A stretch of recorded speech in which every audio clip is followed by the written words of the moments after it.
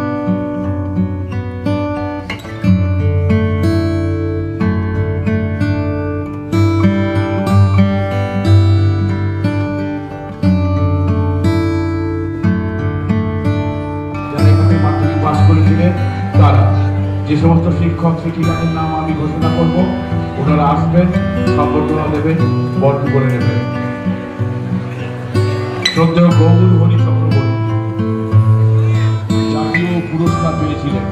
এটা অত্যন্ত গর্বের কথা এবং আনন্দের কথা আমাদের। আর সব থেকে একটি বড় আনন্দের কথা এবং গর্বের সাথে যুক্ত করছি এই জন্যেই এমন একজন শিল্পী দু হাজার বাইশ সালে তিনি পদ্মশ্রী পুরস্কার পেয়েছিলেন, কিন্তু সেই পদ্মশ্রী পুরস্কার তিনি নেননি, প্রত্যাখ্যান করেছিলেন সন্ধ্যা মুখোপাধ্যায়। আজকের দিনে আবার আমাদের ছেড়ে চলে গেছেন প্রয়াত সংগীত শিল্পী আপনাদের পরিচিত শিল্পী।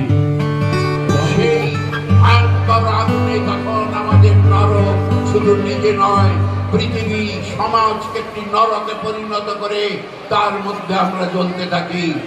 এসো আমার প্রিয়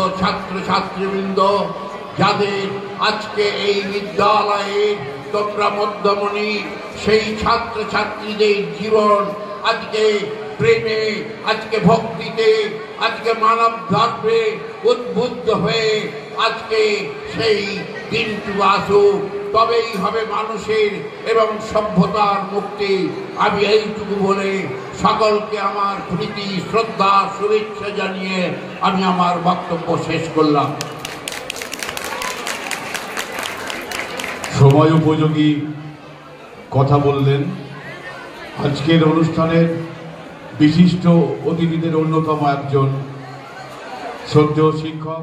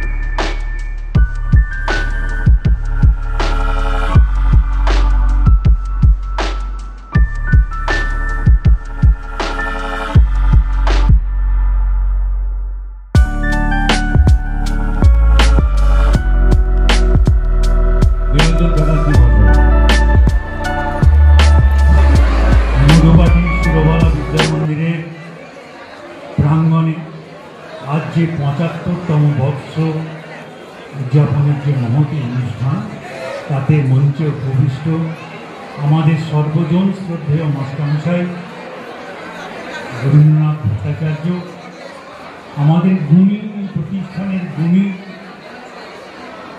প্রবীণ শিক্ষক মহাশয়গণ এছাড়া আমার একদমই বন্ধুস্থানীয় আশিসবাবু আদিত্যবাবু এই বিদ্যালয়ের প্রধান শিক্ষক ও সম্পাদক মহাশয়, এই বিদ্যালয়ের সম্পদ স্বরূপ বিদ্যালয়ের শিক্ষক, শিক্ষিকা, শিক্ষাকর্মী বৃন্দ এবং এই বিদ্যালয়ে যাদের উপস্থিতি না থাকলে সম্পূর্ণভাবেই তার সৃষ্টি শেষ হয়ে গেছে সেই ছাত্রছাত্রী প্রত্যেককেই স্বস্থানে শ্রদ্ধা প্রণাম।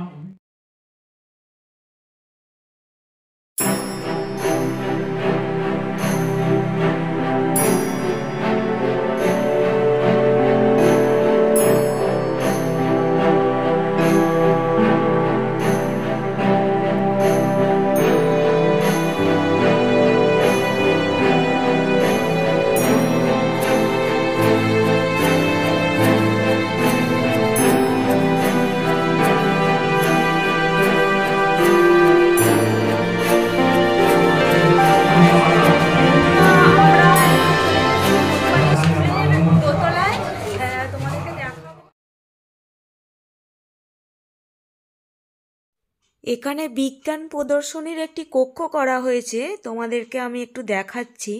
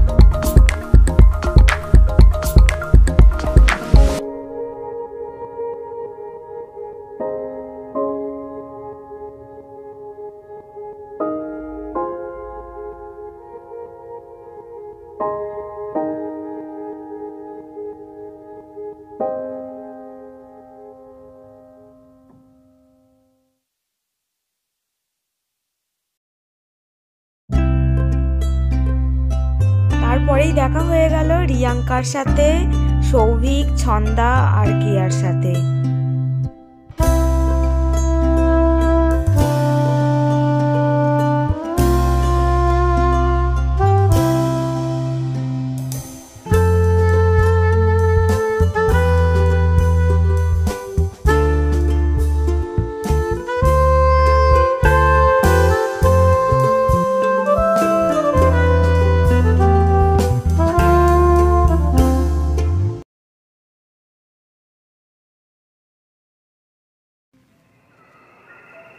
এরপরে আমরা আরেকটি কক্ষে চলে এলাম যেখানে আমাদের ভারতের বৈচিত্র্যকে তুলে ধরা হয়েছে।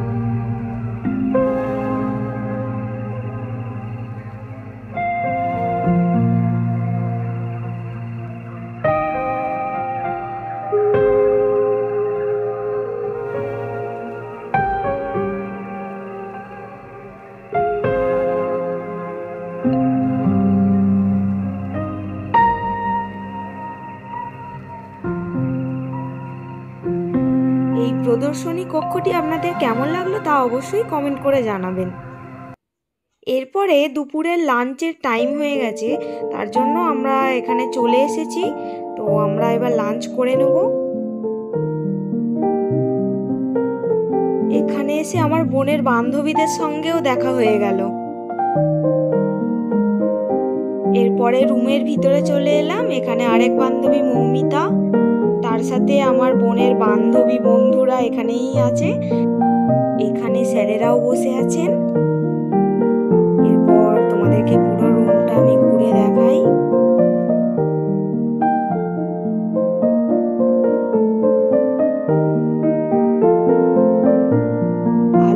হাত দিয়ে বসে কি ভাবছে?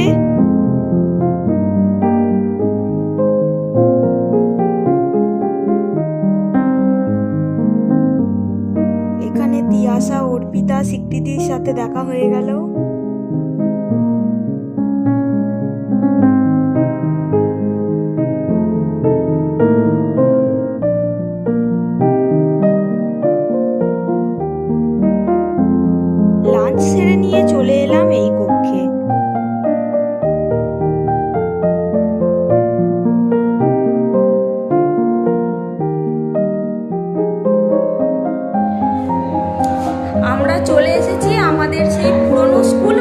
মধুবাটি সুরবালা বিদ্যা মন্দিরে।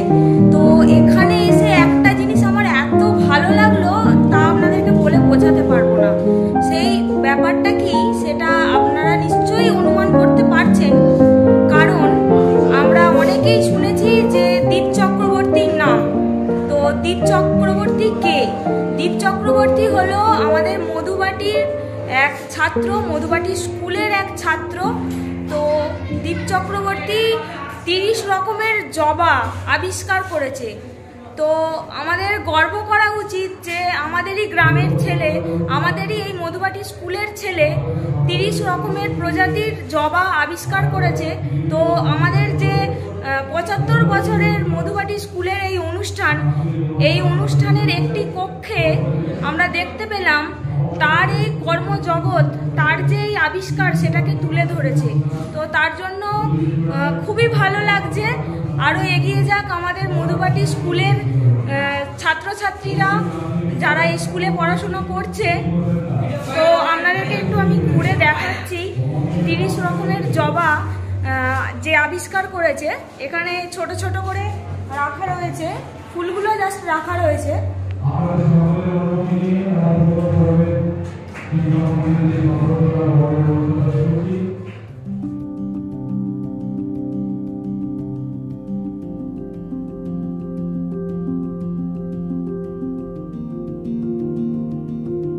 এদিকে আমার বোন রূপশ্রী কুহেলি ওর বান্ধবীরা।